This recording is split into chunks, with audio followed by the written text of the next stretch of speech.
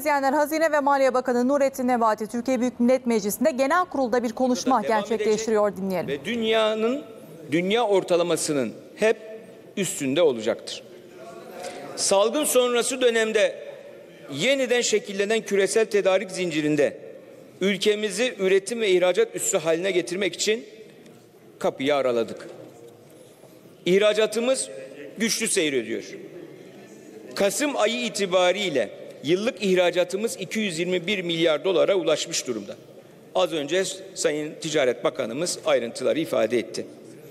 Uluslararası imtia fiyatlarındaki yükselişe karşı güçlü ihracat, gerileyen altın ithalatı ve ivmelenen turizm gelirleri cari işlemler dengesinde kayda değer bir iyileşme sağladı. 2021 Eylül ayı itibariyle yıllık cari işlemler açığı 2020 yıl sonuna göre 16,6 milyar dolar iyileşti. Ve inşallah bu yılın sonunda cari açığın milli gerine milli gelire oranının yüzde 2,6'nın oldukça altında gerçekleşmesini bekliyoruz. Cari açığın milli gelire oranı noktasında yıl sonunda inşallah müjdeli rakamları hep birlikte görmüş olacağız. 2021 yılı yüksek büyüme ve düşük cari açıkla Türkiye'nin tarihsel döngüsünün kırıldığı bir yıl olacak. Önümüzdeki yıllar cari fazlasıyla Allah'ın izniyle biz gösterdiğimiz gayret birlikte ortaya koyacağımız enerji ülkeye olan inancımız ve her bir ferdin kendi üzerine düşen sorumluluğu tam ve layıkıyla getirmek kaydıyla bu tarihsel döngünün kırılmasında hep beraber hep beraber ortak olacağız inşallah.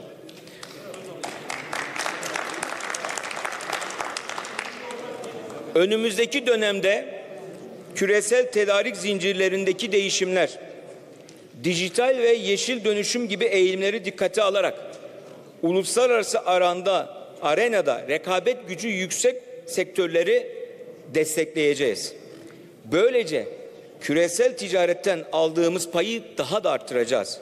Neticede orta vadede cari işlemler dengesinde kalıcı ve sürdürülebilir bir iyileşme sağlayacağız.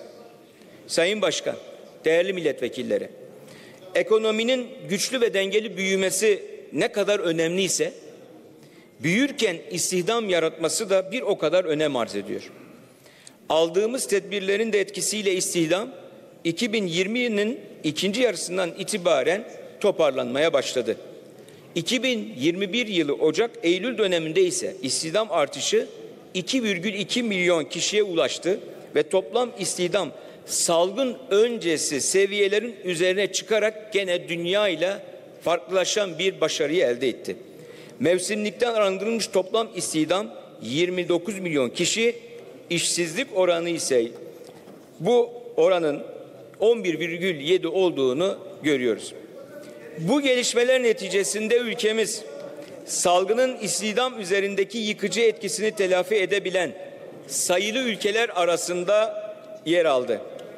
2021 yılında ekonominin hızlı toparlanmasına bağlı olarak enflasyonist baskıların yanı sıra küresel gıda, emtia, petrol ve enerji fiyatlarındaki artışlar ve tedarik zincirlerindeki aksaklıklar neticesinde yıllık tüketici enflasyonu Kasım ayı itibariyle 21,3 seviyesine yükseldi. Her ne kadar enflasyondaki bozulmanın önemli bir bölümü küresel gelişmeler kaynaklı olsa da döviz kuru gelişmelerinin de bu görümde belirleyici olduğunu gözlemliyor, görüyor ve biliyoruz. Bunlara ek olarak özellikle gıda fiyatlarındaki katılık ve enerji de dışa bağımlılık gibi yapısal sorunların da olumsuz etkilerini göz ardı edemeyiz.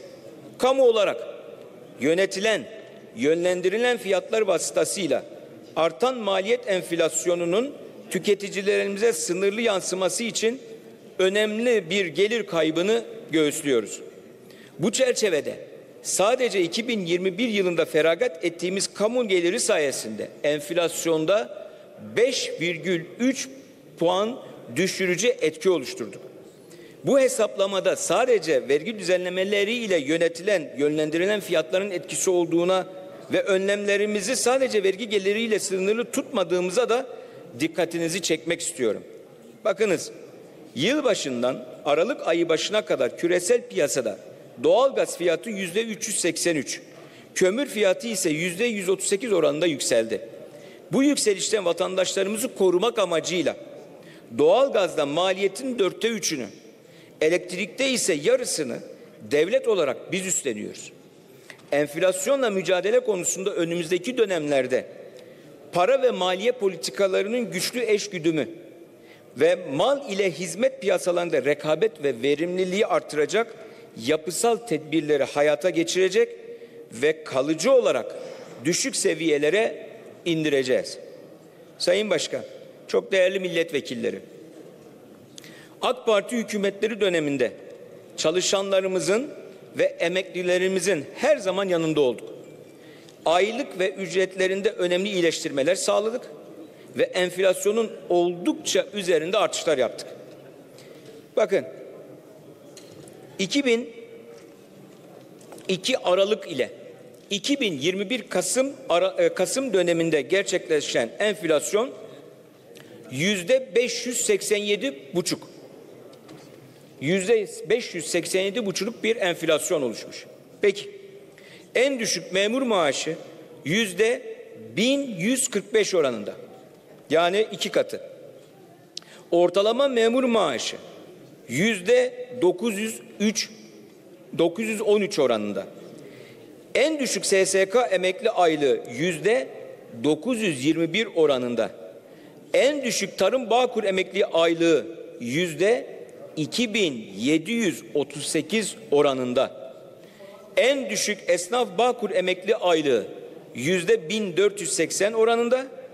En düşük memur emekli aylığı yüzde 770 oranında.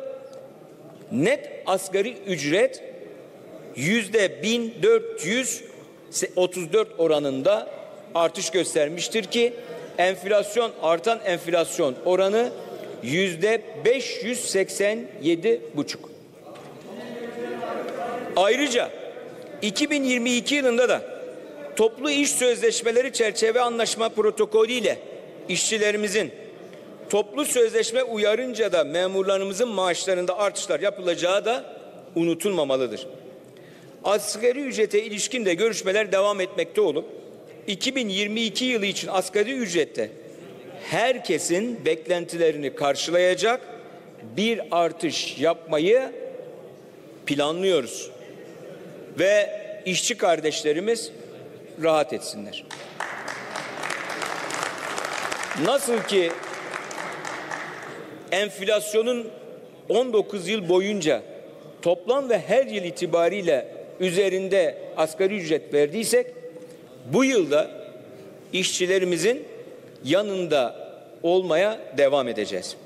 Sayın Başkan, değerli milletvekilleri, bankacılık sektörümüz yıllardan beri sürdürdüğü ihtiyatlı yaklaşım sayesinde finansal aracılık faaliyetlerini sorunsuz bir biçimde yürüterek reel sektörün ihtiyaç duyduğu finansmanı uygun koşullarda sağlıyor. Son iki yılda salgının neden olduğu elverişsiz şartlara ve küresel piyasalarda yaşanan dalgalanmalara rağmen bankacılık sektörümüzün sağlıklı büyümesini sürdürdüğüne ve güçlü sermaye yapısını korumaya devam ettiğine ve bunu başardığına şahit olduk. Bankacılık sektörünün sermaye yeterlilik oranı rasyosu yüzde 17,3 ile yasal alt sınırın yüzde 8 ve hedef oran olan yüzde 12'nin üzerinde gerçekleşirken tahsili gecikmiş alacak oranı yüzde üç buçuk ile düşük seviyelerde seyrini sürdürüyor. Bununla birlikte bankalarımızın basiretli davranarak takipteki alacaklar için Avrupa Birliği ortalamasının oldukça üzerinde karşılık ayırması sayesinde bu alandaki risklerin sınırlı kalmasını da bekliyoruz. Finansal kesim dışındaki firmaların net dış yükümlülükleri 2017 yılından bu yana 65,5 milyar dolar azalmıştır. Döviz pozisyon açığına sahip reel sektör firmalarının önemli bir kısmının büyük ölçekli ve önemli ölçüde döviz gelirine sahip olması kur riskine karşı doğal bir koruma sağlamaktadır. Rezervlerimiz artış eğilimindedir ve Türkiye Cumhuriyeti Merkez Bankası brüt rezervi 126 milyar dolar seviyelerindedir. Sayın Başkan, değerli milletvekilleri, salgının etkilerinin devam ettiği bu dönemde bütçemizi mali disipline bağlı kalan bir yaklaşımla yönetiyor. Vatandaşlarımızı, esnafımızı, reel sektörümüzü ve ihtiyaç duyulan tüm alanları destekliyoruz. Covid-19 salgını ile mücadele kapsamında uyguladığımız tedbirlerin ekonomik büyüklüğü yaklaşık 718 milyar Türk lirasına ulaşmıştır. Bu gayri safi yurt içi hasılanın yüzde 14'üne tekabül ediyor. Bu tutarın merkezi yönetim bütçesi ve işsizlik sigortası fonu başta olmak üzere çeşitli fonlardan karşılanan kısmi yaklaşık 190 milyar liradır. Yıl sonuna kadar bu desteklerin 205 milyar lira yani milli gelirlerin yüzde dördüne ulaşmasını bekliyoruz. Vergi, sosyal güvenlik prim ertelemeleriyle kullandırılan krediler ve ertelemeler yoluyla 529 milyar liralık diğer bir ifadeyle milli gelirin yüzde on buçuğu kadar bir kaynak harekete geçti. Böylesine zorlu bir dönemde üretimde ve ticarette süreklilik devam ettiyse kısa çalışma ödeneği, işsizlik ödeneği, nakdi ücret desteği ve normalleşme desteği gibi mekanizmaların büyük bir payı vardır. Bu bahsettiğim dört mekanizmayla 10 milyonun üzerinde vatandaşımıza 63 milyar lira destek sunduk. Buna ilaveten sosyal destek programı kapsamında 4,4 milyar lira, hazine desteği olmak üzere 5,5 milyar lirası da fonlardan olmak üzere 7 milyona aşkın haneye yardım sağladık. Ve bu yardımlarımız önümüzdeki yıl artarak devam edecek. Bakın Eşel mobil uygulamamız çerçevesinde feragat edilen 65 milyar lira gelir ile akaryakıt fiyatları üzerindeki baskıyı azalttık. KDV ve kira stopajı indirimi uygulamalarımızı salgının en yoğun hissedildiği dönemlerde devam ettirdik.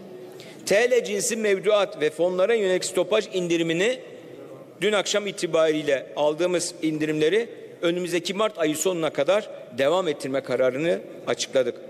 Konaklama vergisinin uygulama süresini 2023 yılına öteleyerek turizm sektörümüzü destekledik. Sayın Başkan, değerli milletvekilleri, Türkiye salgın sürecinde sağlık alanında tanı, tedavi ve aşılama gibi alanlarda gerekli tüm harcamaları yapmıştır. Vatandaşlarımıza, esnafımıza, çiftçimize ve reel sektörümüze ihtiyaç duyulduğu zamanda her türlü destek sağlanmıştır. Bununla birlikte yıl sonu bütçe tahminleri beklenenden daha iyi bir seviyeye işaret ediyor. Salgınla mücadele ve diğer zaruri nedenlerle bütçe harcamalarındaki artışa ve vazgeçtiğimiz vergi gelirlerine rağmen ekonomik aktivitedeki canlanma ve gelir tarafındaki güçlü iyileşme bütçe, bütçe performansımızı olumlu etkiledi. Bu kapsamda dünyadan ayrışan bir örnek vereceğim. Bütçe açığının OVP'de açıkladığımız yüzde üç buçuğun da altında olacağını tahmin ediyoruz. Bununla birlikte bu oranın dünyada ortalama yüzde yedi virgül dokuz, ABD'de yüzde on virgül sekiz, Avro bölgesinde yüzde yedi virgül yedi, gelişmekte olan ülkelerde ortalama yüzde altı virgül altı olması beklenmektedir. Bu da ülkemizin güçlü kamu maliyesi duruşunu gösteriyor. Önemiz, önümüzdeki dönemde maliye politikamızı şeffaf, seçici ve odaklı bir şekilde uygulamaya devam ederek kamu maliye dengelerinde sapmaya izin vermeyeceğiz. 2022 yılı bütçemizi de bu anlayışla hazırlayarak yüce meclisimizin takdirlerine sunmaktayız. İktidarımız döneminde hazırlanan bütün önceki bütçelerde olduğu gibi 2022 yılı bütçesi de vatandaşlarımız ve reel sektörümüzün ihtiyaçlarını gözeten hizmet odaklı bir anlayışa sahiptir. Toplayacağımız vergilerden faize ayıracağımız kaynağı düşürmeye ve oluşan mali alanını da eğitime, sağlığa, yatırımlara, istihdama, özetle 84 milyonun refahına ayırmaya devam edeceğiz. Nitekim bütçemizde eğitime ayrılan kaynağı %29,4 oranda artırarak 273,5 milyar Türk lirasını. Yatırıma ayrılan kaynağı %30,3 oranda artırarak 147,6 milyar liraya, sağlığa sadece bütçeden ayrılan kaynağı %47,3 oranda artırarak 122,6 milyar liraya, sosyal yardım harcamaları için ayrılan kaynağı da %28,3 oranda artırarak 104 milyar 104,2 milyar liraya çıkarıyoruz. Ekonomi politikamızdaki yatırım, üretim, ihracat ve istihdam alandaki olmazsa olmazlarımız gelir politikalarımızın da ana çerçevesini oluşturmaktadır. Bugüne kadar imalatı, katma değerli üretimi, yenilikçiyi, girişimciliği, gençlerimizi, dezavantajlı gruplarımızı kısaca üretmek ve bu ülkenin kalkınma hikayesine katkı yapmak isteyen tüm kesimleri vergi, istisna ve teşvikleriyle destekledik. İş ve rekabet ortamını iyileştirdik. Yatırım maliyetlerini azalttık. Bundan böyle de bu vizyonumuzla üzerimize düşen ne varsa yerine getireceğiz. Güçlü desteğimizi sürdüreceğiz. Diğer taraftan kalıcı gelir kaynakları ile kamu gelirlerimizin kalitesinin artırılmasına artırılmasına odaklanacağız. Vergiye gönüllü uyumu artırmak amacıyla yaptığımız çalışmaları sürdüreceğiz. Vergi tahsilatında etkinliği arttıracak, kayıt dışılıkla mücadelemizi kararlılıkla devam ettireceğiz. Keza her zaman olduğu gibi bu yılda salgın ve doğal afetlerin yaşandığı zorlu dönemlerde vatandaşlarımızın yanında olduk. 5,9 milyon mükellefinizin vergi dairelerine olan 150, 155 milyar liralık borcun yapılandırılmasına olanak sağladık. 2021 yılında vergisel alanda öngördüğümüz yasal düzenlemeleri hayata geçirdik. Bu kapsamda yaklaşık 835 bin basit usulde vergilendirilen esnafımızın kazancını tamamen vergiden istisna ettik. Çiftçimizi desteklemek amacıyla tarımsal destekleme ödemelerinden gelir vergisini kaldırdık. Geçmiş 5 yıl içinde yapılmış kesintileri de iade ediyoruz. Gelir ve kurumlar vergisi mükelleflerimizin ve meslek mensuplarının iş yüklerini son dönem geçici vergi beyan ve ödemelerini de kaldırarak hafiflettik. Sosyal medya üzerinden elde edilen kazançların son derece kolay bir usulle vergilendirilmesini sağladık. Aralık ayının ikinci yarısından itibaren kurallıktan zarar gören 650 bin üreticimize toplamda 2,6 milyar lira kuraklık desteği ödemesi yapacağız. 2022 yılında ilişkin motorlu taşıtlar vergisi tutarlarına uygulanacak yeniden değerleme oranı %36,2 olarak duyurulmuştu ama Sayın Cumhurbaşkanımızın yetkisi çerçevesinde yeniden değerleme oranını %25'e düşürüyoruz. Akaryakıt ürünlerine yönelik kayıt dışılıkla mücadelemizdeki etkinliği artırmak ve haksız rekabeti önlemek amacıyla bu alandaki vergileri güvence altına alacak teminat uygulaması başta olmak üzere birçok düzenlemeyi hayata geçirdik. Sayın Başkan, değerli milletvekilleri, stratejik ölçütler çerçevesinde yürütülen borçlanma politikası kapsamında borçlanmanın ağırlıklı olarak TL cinsinden yapılmasını ve iş borç stokunda döviz cinsi enstrümanların payının azaltılmasını hedefliyoruz. Ayrıca likidite riskinin azaltılması amacıyla güçlü nakit rezervi tutulması politikasında devam ediyoruz.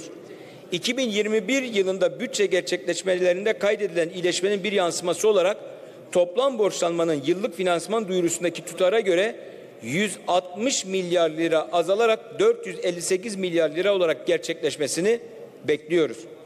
Döviz cinsi borçlanmaların iç borçlanma içindeki payını bir önceki yıla göre yüzde 27,6'dan yüzde 12,8'e, döviz ve altın cinsi borçlanmanın iç borçlanma içindeki toplam payını ise yüzde 37,2'den Kasım sonu itibariyle 29,7'ye düşürdük. 2020 yılı sonu itibariyle merkezi yönetim yurt içi döviz ve altın cinsi borç stoku 36,2 milyar dolar iken Eylül sonu itibariyle 31,6 milyar dolara geriledi. Ve 2021 Ekim ayı itibariyle iş borçlamanın ortalama vadesi 2 yıl öncesinde kıyasla yaklaşık 2 katına çıkarak 56 ay yükselttik. 2020 yılında AB tanımlı genel yönetim borç stokunun milli gelire oranı %39,7 iken 2021 yılı ikinci çeyrek itibariyle %38,4 seviyesinde gerçekleşti. AB üyesi ülkelerde bu oran aynı dönemde ortalama %91'dir.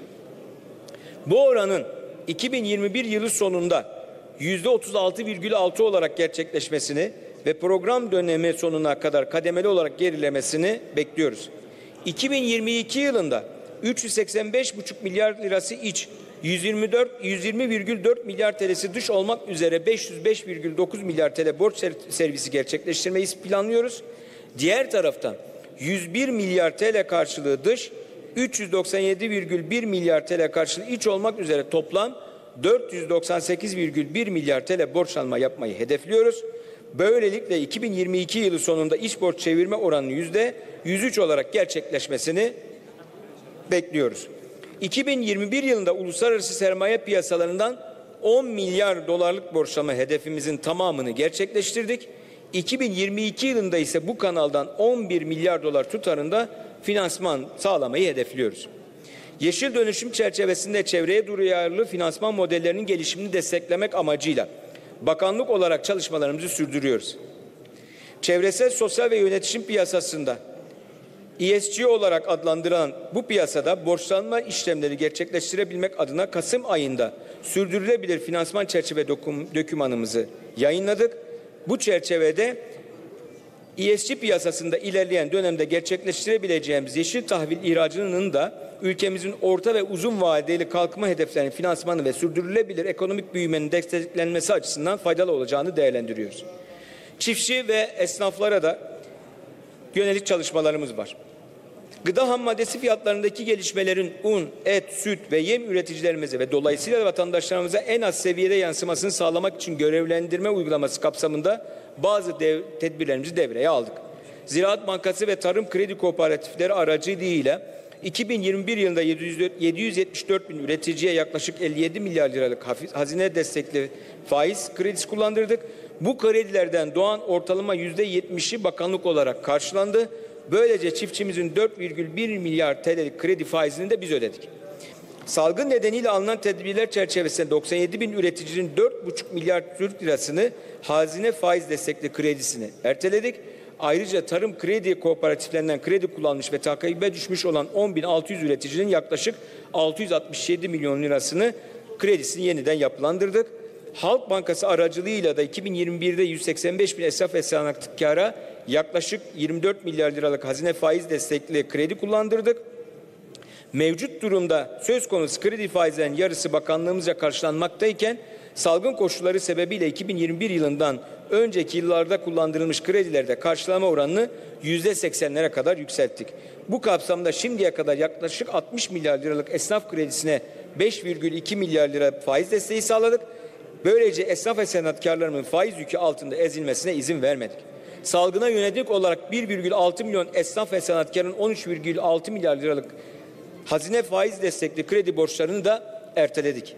Küresel çapta devam eden ham madde, ham madde temini ve tedarik zincirindeki sorunlar ve ortaya çıkan emtia fiyat artışları ekonomideki, ekonomideki tüm faktörleri etkilemekte. Önümüzdeki günlerde bu fiyat artışlarından etkilenen farklı kesimlere yönelik ilave çalışmalarımızı da kamuoyuyla paylaşacağız.